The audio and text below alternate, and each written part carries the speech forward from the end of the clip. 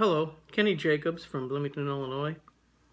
Going to do a video talking about current events as it relates to Bible prophecy. But first, a word of prayer. Father, we just thank you for your your goodness, for your grace, Lord. We thank you that you're in control of this crazy world, that you have a plan, that we can trust you, that your word is true, the prophecies are sure. I thank you, Lord, for forgiveness. And I just pray, Lord, that you will speak through this video tonight, that you will, your Holy Spirit will touch people who hear this, that you'll lead people to salvation and encourage the believers who hear this. In Jesus' name I pray. Amen. All right. Um, I've had a couple of scriptures on my mind, a couple of verses on my mind the last couple of days, so I have a feeling it's for somebody besides myself. I know it applies to me as well, but uh, like I said, God's put it on my heart for the last couple of days. So I'm guessing that somebody who hears this video tonight needed to hear these verses. Um, First John. First John chapter 2, verse 15 and 16. Love not the world, neither the things that are in the world. If any man love the world, the love of the Father is not in him. For all that is in the world, the lust of the flesh and the lust of the eyes and the pride of life, is not of the Father, but is of the world. Let's go to James chapter 4, verse 4. Ye adulterers and adulteresses, know ye not that friendship of the world is enmity with God? Whosoever therefore will be a friend of the world is the enemy of God. But there is some encouragement here.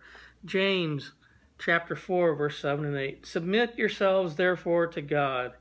Resist the devil, and he will flee from you. Draw nigh to God, and he will draw nigh to you. Cleanse your hands, ye sinners, and purify your hearts, ye double minded. That's a word for somebody, I believe. And you do not want to be wrapped up in the cares of this world. We are in the last days. You want to make sure that you are in the faith, that you have turned your life over to Jesus Christ.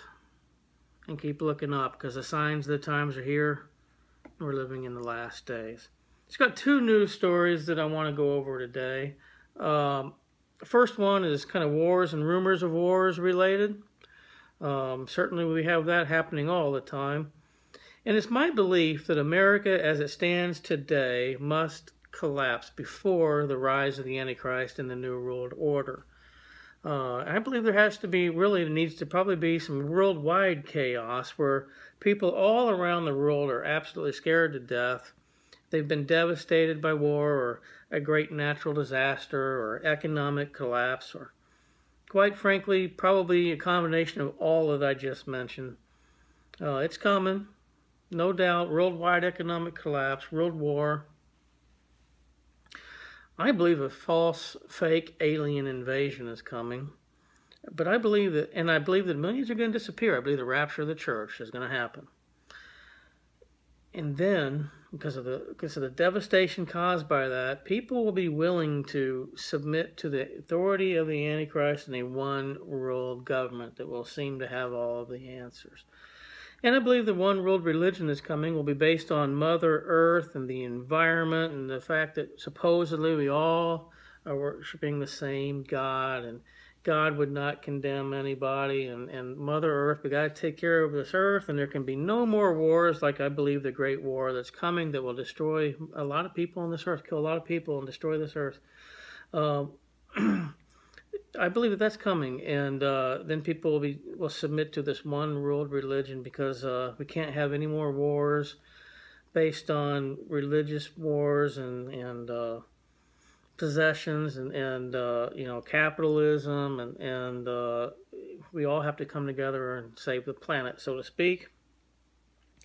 And along the lines, then uh, I got an email today from Newsmax magazine, and the headline reads uh, North Korea shocking warning to America out of Washington, D.C. It says the Pentagon is scrambling to protect America's power grid amid, amid, amid fears of attack by North Korea, says former CIA director, CIA director James Woolsey. According to the Congressional EMP Commission, A single warhead delivered by North Korean satellite could black out the, the national electric grid and other life sustaining critical infrastructures for over a year, killing 9 of 10 Americans by starvation and societal collapse. Get that? Killing 9 out of 10 Americans.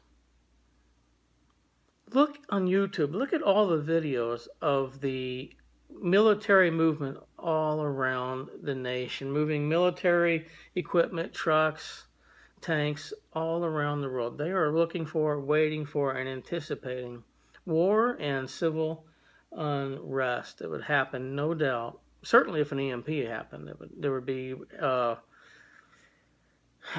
chaos like you wouldn't believe, but um, economic collapse as well. Uh, President Trump is facing this threat head on and he is not backing down. He, to- he told Reuters there is a chance that we could end up having a major, major conflict with North Korea. Absolutely. North Korea re- realizes they can't beat us with brute military force on the conventional battlefield. We are too strong for that. However, however, we do have a weakness that North Korea or other foreign terrorists could use against us: our crumbling electric grid. Uh, former CIA official Dr. Peter Pry warns there is an imminent threat to the national electric grid and not just a single U.S. city. When our electric grid fail, uh, fails, it will be like watching America have a heart attack right before our eyes because when the heart stops pumping, everything shuts down and the patient flatlines. Our enemies could cripple our great country in a matter of minutes without having to fire a single bullet. They could just sit back and watch as we self destruct their looting, rioting, and targeting of police officers. It's a frightening idea, but worst of all, it might already be happening. On April 21st, three U.S. Uh, major U.S. cities, New York, Los Angeles, and San Francisco, experienced virtually simultaneous power outages. Businesses emptied, schools closed, subway commuters were stuck in the ground in the dark. Rumors immediately started flying the cyber attack, cyber attack had caused all three blackouts. Uh, the official word in San Francisco was that the outage was caused by a fire in a substation. In Los Angeles, high winds were blamed. In New York, an equipment failure. Uh, perhaps these were the real causes, or maybe these were simultaneous blackouts or dry runs for future attacks. We may never know the truth. All I know is worldwide chaos is coming. The Bible told us it's coming. The Bible told us that most people will die in the final seven-year period of time. That Jesus, Jesus himself said that if the days weren't shortened, if I didn't shorten the days, that no flesh would survive. It is time to make sure you know you are ready, that you are saved by the blood of Jesus Christ. The most important question you will ever ask, or answer, I should say, the most important question you will ever answer in your life is who do you say Jesus is? If you believe that Jesus Christ is the Son of God, and you're willing to turn to Him and ask Him to forgive you, He died for you and shed His blood, you will be saved. Have to, everybody on this planet will answer that question Who is Jesus Christ? Your eternal future, your e eternal destination determined, is determined by your answer to that question. And I have uh, one more sad amazing news story to, to uh, report. Uh, let me turn to it here. I saw the New York Post. I've seen it covered in several other sources today. Uh, Vatican cops bust drug-fueled gay orgy at home of Cardinal's aide. I'll read that again. Vatican cops bust a drug-fueled gay orgy at the home of a cardinal's aide. It says Vatican police raided a drug-fueled gay sex party at the apartment of an aide to one of Pope Francis's key advisors. According to an explosive new report, the Holy Father is, is enraged.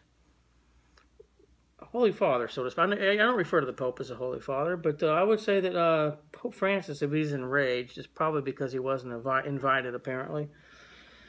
But it goes on to say the Holy Father is enraged since the home inhabited by Cardinal Francesco uh, secretary belongs to the Vatican's Congregation for the Doctrine of Faith, the arm charged with tackling clerical sex abuse, ironically. Cops raided the apartment in late June after neighbors complained about multiple people visiting the apartment and acting strangely. Inside, police said they found men getting high and getting it on, the paper reports. They arrested the priest after taking him to a clinic to detox from the drugs he'd ingested.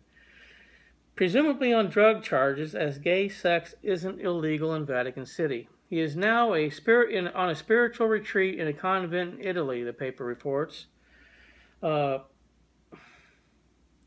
had, re had recommended his secretary for a promotion to bishop, but the prospects aren't looking good following this incident and two previously alleged drug overdoses. Pope Francis may force the cardinal into retirement. The scandal comes just a week after the Vatican was rocked by sex abuse allegations against high ranking Cardinal George Pell. You know, it just makes me sad and uh, honestly, it almost makes me sick. Every time I hear a Catholic, and I was raised Catholic, I went to 12 years of Catholic school. Started reading the Bible for myself, though, and turned to Jesus Christ as my Savior when I was 16 years old. But as a Catholic, and I have friends and family that are Catholics, and they tell me all the time, and I hear all the time that uh, the Catholic Church is the one true Church of Jesus Christ. He started the Catholic Church. No, that is a lie that Catholics believe. Jesus Christ started his church based on himself. He is our chief cornerstone. He is who our salvation is. He is our who, who our salvation comes through, not through religious rituals and sacraments and confessing to a priest and Vatican authority. I believe wholeheartedly that the wicked Vatican system is Mystery Babylon in Revelation chapter 17 and 18. Let's turn there now. Revelation chapter 17, verse 1 to 6. And there came one of the seven angels which had the seven vials, and talked with me, saying unto me, Come hither, I will show unto thee the judgment of the great whore that sitteth upon the many waters, with whom the kings of the earth have committed fornication, and the inhabitants of the earth have been made drunk with the wine of her fornication. So he carried me away in the spirit of the wilderness.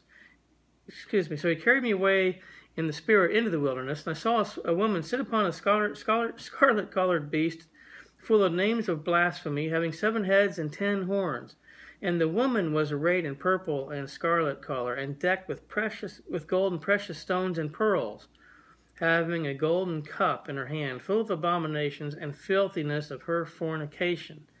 And upon her forehead was a name written Mystery Babylon the Great, the mother of harlots and abominations of the earth. And I saw the woman drunken with the blood of the saints and with the blood of the martyrs of Jesus. When I saw her, I wondered with great admiration. Verse uh, 9. And here is the mind which hath wisdom. The seven heads are seven mountains on which the woman sitteth. And verse 18, And the woman which thou sawest is that great city which reigneth over the kings of the earth. That is Vatican City, where all the kings of the earth go to bow down to Pope Francis. And it is an only city it is also its own country, its own sovereign country within the walls of Vatican City, which make makes Pope Francis a king.